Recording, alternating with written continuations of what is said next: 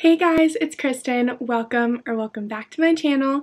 If you're new here, I am a second year Doctor of Physical Therapy student living in Atlanta, Georgia, and I make videos on my channel about my journey in PT school, so if you are new here, you should totally take a second and subscribe down below, but today I'm going to be filming what is in my clinical bag. So if you didn't watch my last video, you would not know this, but I have a short-term clinical rotation this semester at an outpatient orthopedic clinic, and I vlogged my first day of clinical. If you want to check that out, I will have it linked in a card above. But in that video, I mentioned that I would be sharing what is in my clinical bag because I got some exciting, fun new things to share with you guys.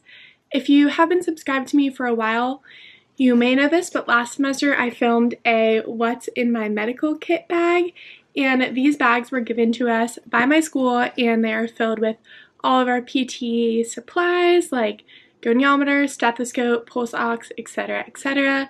And the reason I don't bring that bag to clinical is because I also need to bring like a lunch, my phone, my wallet, etc., etc.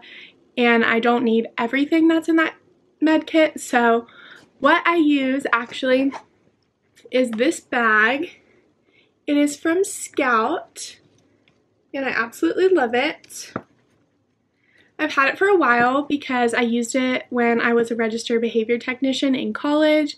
I would go to children's houses and do in-home ABA therapy with them and have to bring like board games and stuff so I would always transport them in this tote and I love it because the material is like not like paper like more kind of like plasticky like kind of like a reusable grocery bag material, but not in a bad way at all because I love this bag.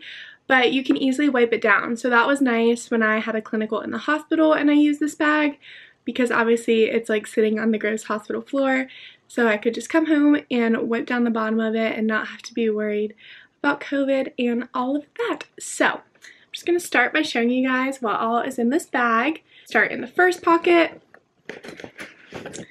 I just have my gait belt. It's just the one that my school got me, but a lot of people in my class have bought like pink ones and purple ones and striped ones, so I am thinking about getting one of those, but obviously an essential.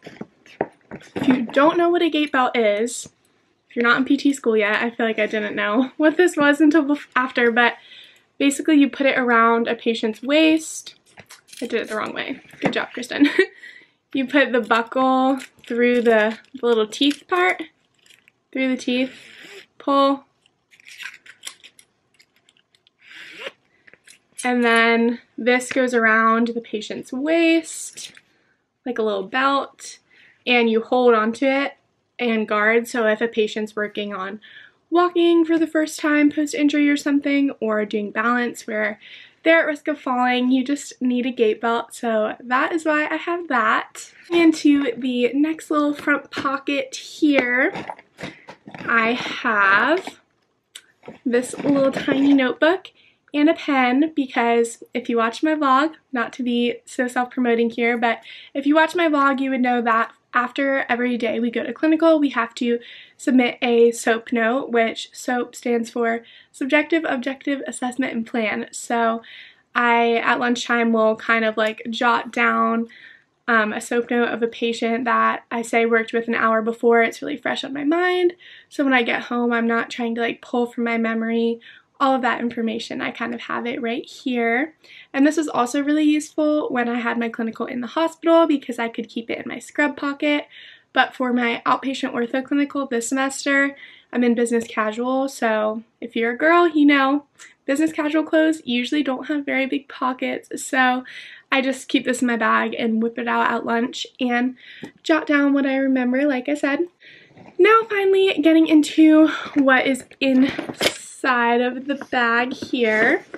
It does have a little like top flap to zip up so it can keep everything nice and secure.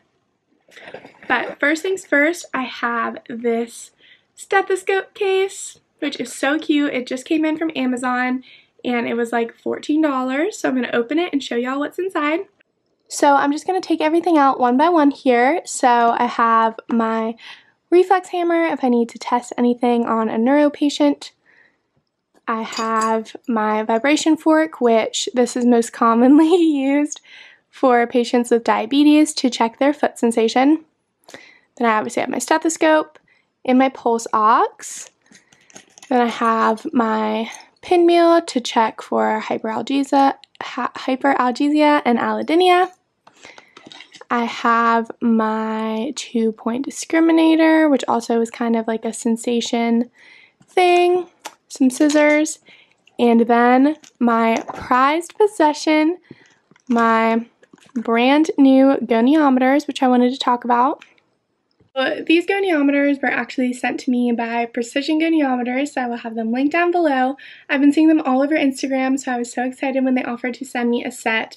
But basically, it just looks like your typical old goniometer, which you don't know what this is for. It's to measure range of motion at certain joints. You kind of put it on the joint and then move the arms. But, so obviously to know how to do that, you have to memorize like where the axis goes, where to point this arm to, where to point this arm to, the normal range of motion, which really isn't that much information and like it's something you should know if you are at clinical, but sometimes maybe your clinical instructor will ask you to do a skill that you haven't done in a while, you're nervous, so you're panicking and you just can't remember. So if you look closely at this goniometer, you can see right here, I'll also do a close-up, it tells you exactly where to place it and the norm values. There you go. There you can see.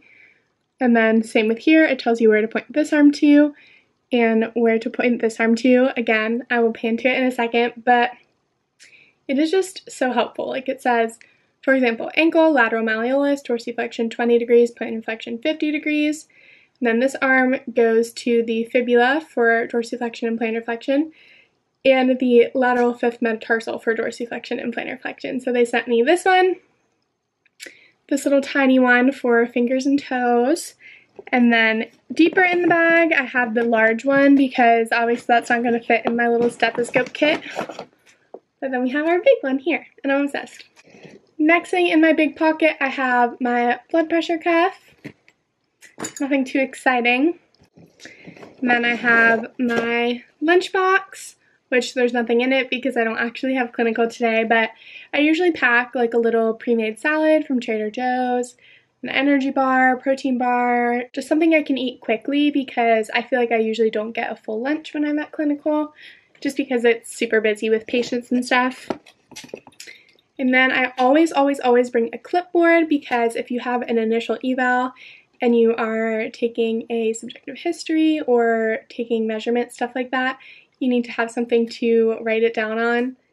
And that is everything. Well, obviously I also bring my wallet and my phone, but like I said, don't actually have clinical today, but my bag is completely empty as you can see.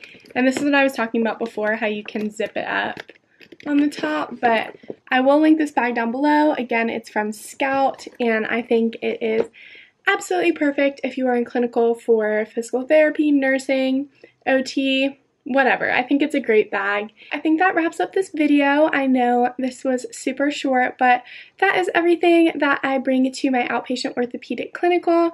So if you have any questions at all, you can leave them in the comments down below. And I probably should have mentioned this in the beginning, but this isn't a long-term clinical rotation. I still am in a full semester of classes right now, and I would just go to clinical on Wednesdays a few times throughout the semester just to kind of get some experience before I go off to a full-time placement in May, which I will be sharing with you guys soon where I am going. I have gotten word of where I may be going, but it's not finalized yet, so I will let you guys know then. Fingers crossed everything works out with that. But I wanted to thank you guys so much for watching and for supporting me on my physical therapy journey. And I will see you guys in my next video next Saturday. Bye, friends!